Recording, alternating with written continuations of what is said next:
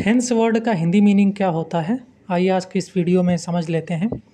Hence word का हिंदी मतलब होता है इस तरह, अतः, इस कारण से, इस वजह से, या फिर इसलिए, यानी कि as a consequence for this reason आइए इसे एक एग्ज़ाम्पल से समझते हैं।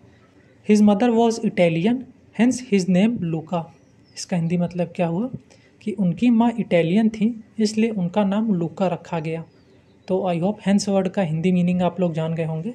ऐसे ही और डेली यूसेज वर्ड जानने के लिए चैनल को सब्सक्राइब करें।